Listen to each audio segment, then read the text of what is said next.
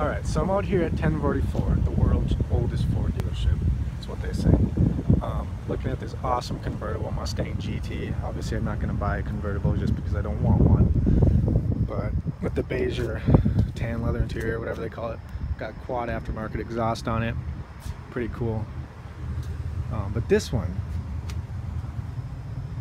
this one, this guy told me he loved my car when I was at Walgreens.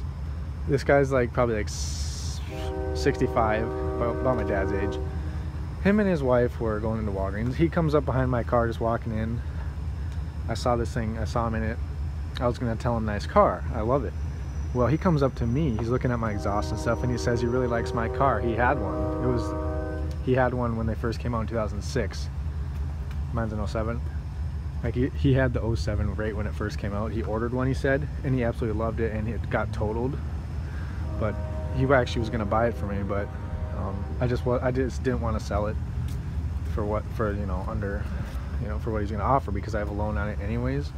But it was really cool talking to this guy. He's really nice. He really likes that car a lot. Like I said, he, he said he had the exact same uh, color and everything but he didn't have, obviously have black rims and stuff like that. But this is his vehicle. It's here getting serviced. And I didn't notice he has a trailer hitch on it, I believe. It's so cool. I mean, I would never put a trailer hitch on my Mustang or whatever, my sports car. But you know, it's cool.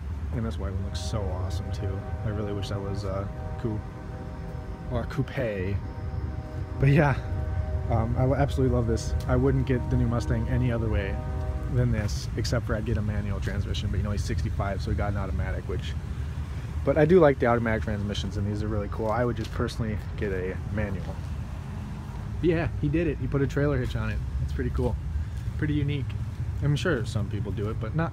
You gotta admit, not many people do it. And uh, this convertible is pretty sweet. All you convertible haters in the world, gotta admit, it's a pretty sweet convertible. The white white with the black accents and uh, automatic again, of course, but it's got the cool leather interior and all that. And the black right there, hood vents.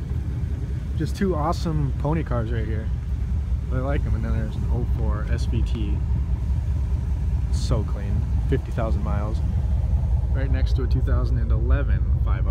So yeah, Mustangs are everywhere here. I really want that car. It's not for sale.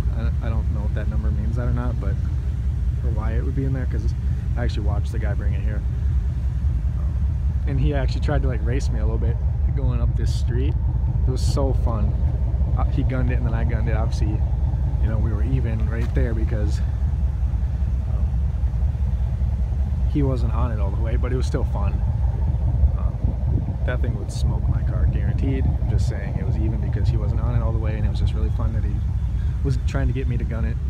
So yeah, um, let me know what you guys think of the trailer hitch idea. I would never do that, but personally, I'd like to see what you guys would do you people on YouTube. When I say you guys, I mean just YouTube in general, whoever's watching my video. So like, comment, subscribe. Stay tuned for some pretty cool car videos, reviews, street racing, and all that good stuff. In Mexico, of course. And I'll see you guys later.